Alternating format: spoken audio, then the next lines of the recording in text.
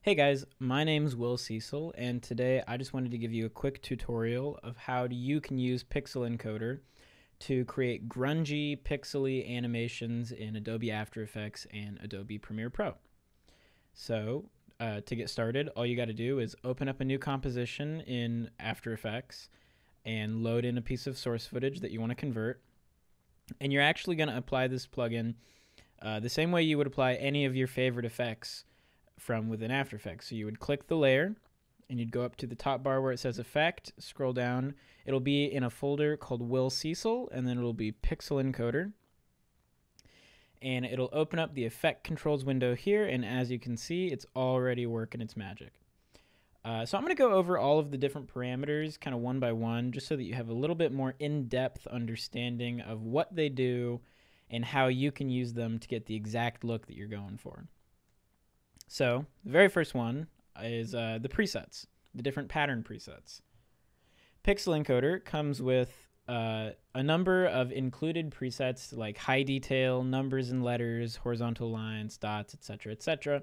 And these are just going to be different patterns that make up the actual image. So, for instance, high detail is going to be uh, an array of these kind of dithering inspired patterns. Uh, numbers and letters is going to be, you see exclamation points and apostrophes, and there are, are, others if we were to play around with it some. Horizontal lines is, of course, uh, horizontal lines with differing uh, widths that make up the different gradient levels of the image. Um, so I'm not going to go through every single one. I'm going to let you guys explore those on your own some, but that's kind of a quick overview of what those are. Next, you're going to have the actual size of those patterns. So for instance, say you wanted these individual square patterns to be a little bit bigger uh, for the effect you were going for. You could just take this slider and scale it up some. Let's go ahead and set that to 5. And as you can see, now the individual patterns are bigger within the image. So this is a really nice way to kind of finely tune uh, the detail of your image. So if you wanted something really kind of abstract, you can make it really big. If you wanted it to be much easier to see. You can see it's almost got a bit of a half tone effect. I'm actually going to drop the horizontal and vertical details you can see that. It's almost got kind of a half tone effect to the image. It's a lot higher resolution per se. Um, so as I'm as I'm sure you could guess, there's a lot of uh, customization there. You can do a lot with that. Next, you have brightness and contrast. These are pretty basic controls, but they just help you to finely tune the image and get it exactly how you want. So for instance, this is a video of me up against a dark background. Say I had the brightness really high. Say I shot it like this out of camera and I just wanted that background to be a solid color. I could just take the contrast and crank it up. And as you see, it just pushes everything back a little bit. It clears up that background for you. And it's just a really quick way without having to apply multiple effects on top of each other. So it saves your rendering a little bit of bandwidth and it just makes everything a little bit more efficient to have it baked in like that.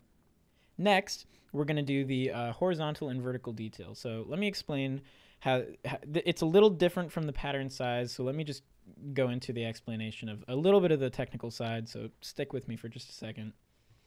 Um, just so you can see those, I'm going to scale these up a little bit. So if we zoom in, you can see that the image is not just comprised of the actual patterns but it's also got blocks that the patterns are mapped onto. So I'll adjust the detail up a little bit so you can see what I mean. As I scale this up, you can see the patterns, or the blocks rather, start to get more visible, and you can see it's these big chunks now. So the horizontal and vertical detail lets you control the X and the Y size of these individual blocks. So you can go, you can do something really crazy, make it like this. You won't even be able to tell what the image is. But if you're going for something interesting, it might work. Or you can take it all the way down, like I had it just a second ago, and it almost looks like the original image, just with this kind of halftone dithering pixel effect. So all of these so far, everything here is keyframeable. You can animate everything say you wanted to start really high resolution like this and over time you wanted it to turn into this blocks, you can do that. Um, so there's a lot of really great customization there. And then lastly, and these are pretty self-explanatory, but I'll still go through them just in case. Uh, you have pixel color and background color. So as I'm sure you can already guess, the pixel the pixel color simply decides what color that the pattern is actually filled in with. You make that red, blue, green. You can do a lot of stuff with that. I'm going to go ahead and leave that at white for now. And then the background color is exactly the same thing before the background.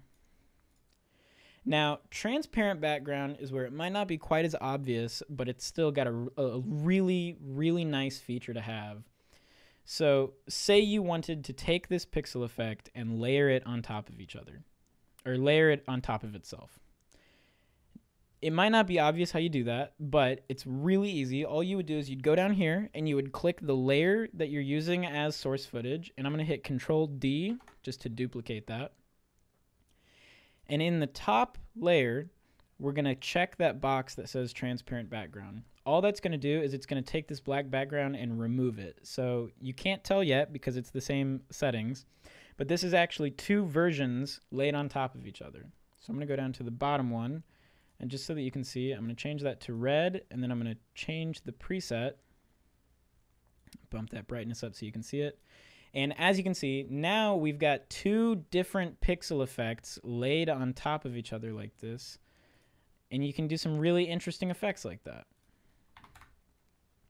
Um, and this is just one of those ways that if you if you get creative, you can really you can really push Pixel Encoder to do stuff that you might not uh, might not be immediately obvious out of the box, but these features can combine in some really cool and really interesting ways.